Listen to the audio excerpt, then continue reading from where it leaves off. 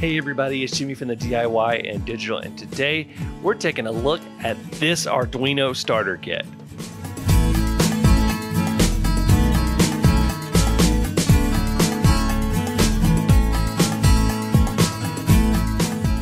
Welcome back, everybody. First of all, if you haven't already, go ahead and hit that subscribe button, hit that like button, and hit that bell icon so that you don't miss any updates like this video. So today we are taking a look at a starter kit from Elegoo. It's one of my favorite little Arduino accessory companies and Arduino clone manufacturers.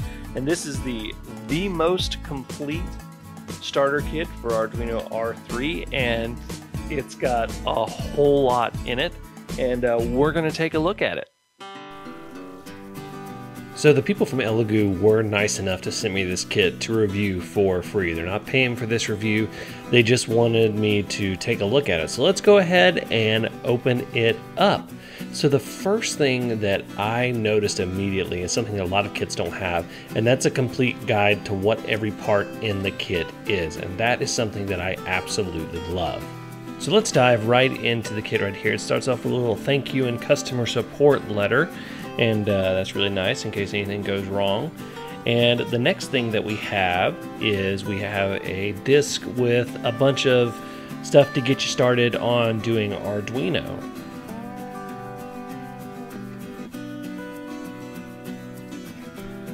The next thing we're going to look at is we have the Uno itself. Now it is branded Elegoo, but it looks like a pretty standard Uno right there, and we'll get into that a little bit later.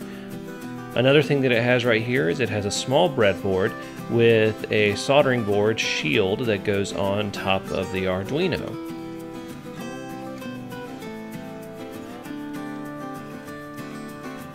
The next thing that we have in the kit is a pack of resistors and according to the information it has 120 resistors total and by looking at it it goes all the way down to 10 ohms up to 1 mega ohm or 1 million ohms so a lot of different resistors.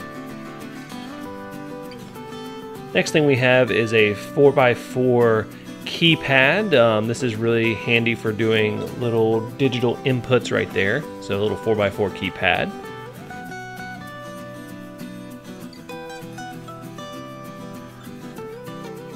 We then have a large breadboard, which is really great for prototyping, and I pretty much consider a necessity if you're going to be doing anything with Arduino. I use one pretty much every tutorial that I've ever done.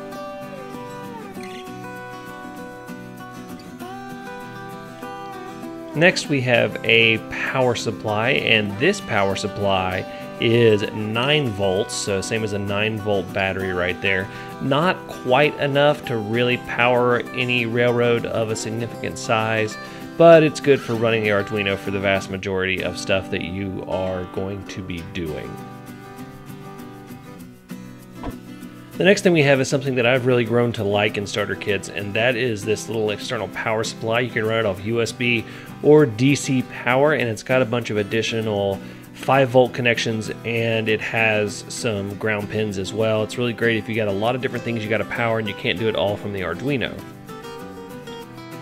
Next up we have a little Max 7219 dot matrix. Um, it's got little lights in it so you can make little dot matrix patterns in it.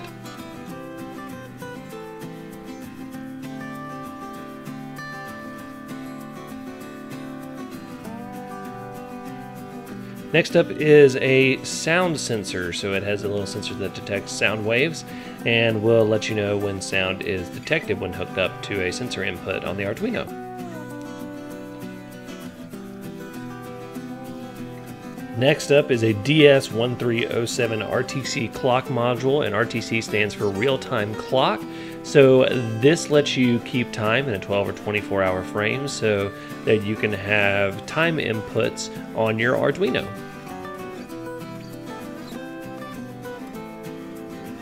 Next up is a DC motor complete with DuPont connectors so it is ready for prototyping.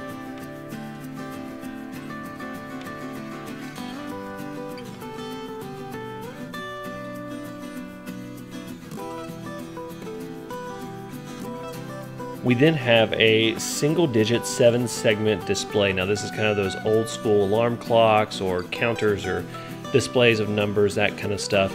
And one thing that I really like about this kit is it actually also includes a four digit seven segment display and you don't see that in a lot of kits you see either one or the other so that's really nice that this kit has both of those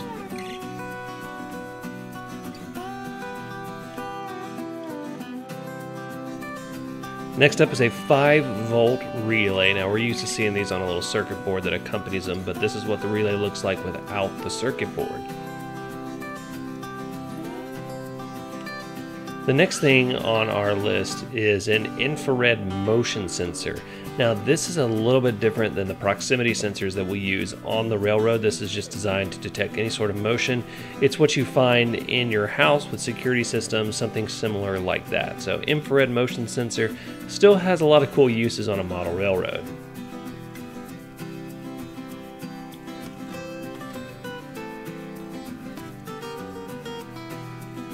The next thing we have is we have a rotary encoder, and that's similar to a rotary potentiometer, except it uses code to send its signals back and forth.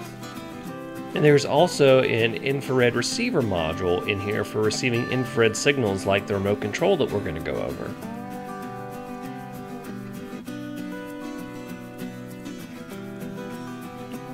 The other part in here is a heat and temperature sensor, so if your railroad is in a uh, hot or cold place. This might be something useful if you need some sort of monitoring system you want to build yourself.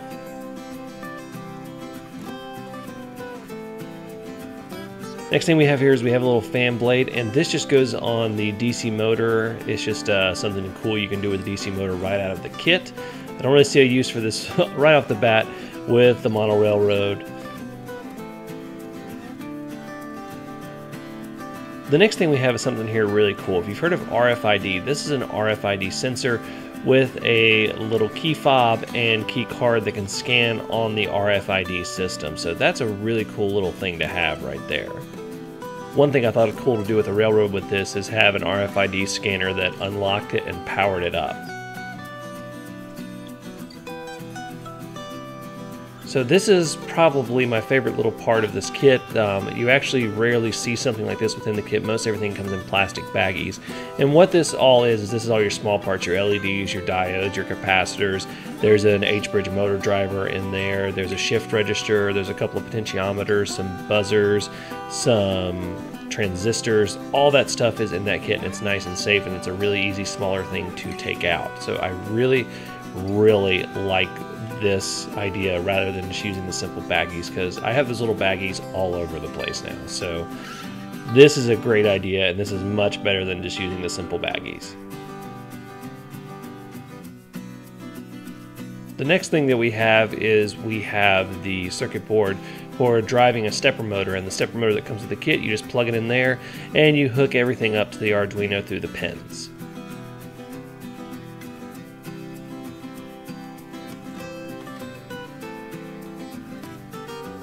Next up is a GY521 module, and this is a gyroscope accelerometer module, so it can really just detect movements and tilts and all sorts of stuff like that.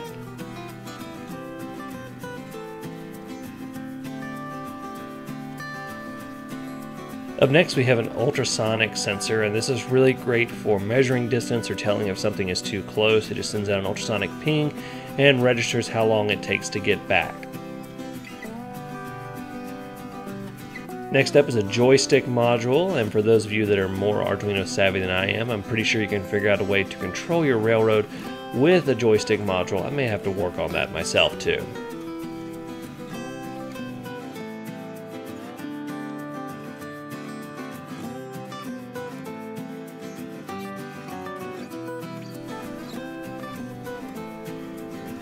Here we just have a 9 volt battery. It is nice and plastic sealed so that hopefully the drain isn't too bad on it from shipping. And here we have a little servo motor. This is something that could potentially be used to raise and lower a crossing gate. Um, if you're doing that kind of motion, this is definitely something you'd want to use this or a stepper motor.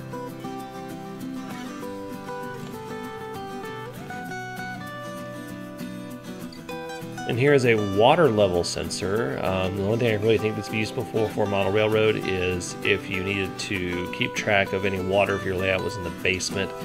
If uh, any water happened to seep in and you need some sort of alarm system you wanted to build yourself. And then we have a remote control. Um, this goes with the infrared receiver module that um, was in the kit earlier. And then we have a 2x16 LCD backlit screen, and it's got all the pins on the back for the connection to the Arduino.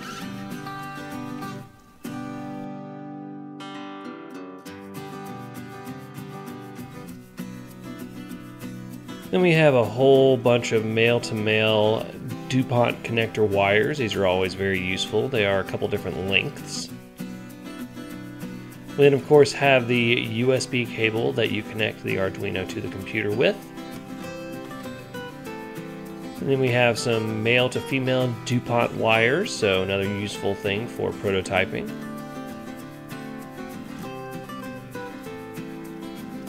We then have the 9 volt DC power adapter so you can hook the 9 volt battery up to the Arduino. And last but certainly not least, we have the stepper motor that goes with that stepper motor board that I showed you earlier. And that's everything that's in the kit.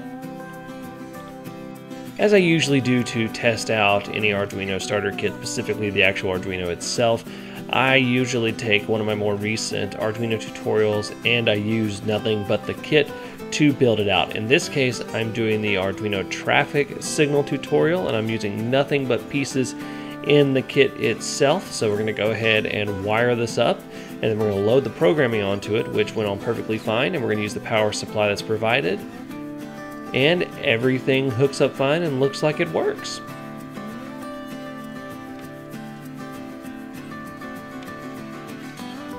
And you can see the lights are changing, so pretty much everything is working as it should with an Arduino. So that is the most complete starter kit for Arduino Uno R3 from Elegoo. It's a really, really great kit. I absolutely love it. It's my favorite kit that I've reviewed so far. It's a really good company when it comes to Arduino stuff. So if you're looking to get started in doing some Arduino stuff, whether it's just random projects or you really want to do some of these tutorials I've done or you want to do some other stuff for your model railroad with Arduino, this is a great place to start. Um, it's got a ton of stuff to really get you going. And also, if you would like this kit, I am giving one away. So all you have to do is put in the comments below what you would use the Arduino starter kit for. Now, the entries are going to be open until this Friday. So go ahead and get those entries in. And uh, I'll be on the lookout and we'll do the drawing the following week. So if you haven't already, go and hit that subscribe button, hit that like button, hit that bell icon so you don't miss any updates, and leave a comment on how you use this starter kit in the comments below so that you can be entered to win a Arduino starter kit from Elegoo. Until next time, I'm Jimmy from the DIY and Digital. Happy railroading!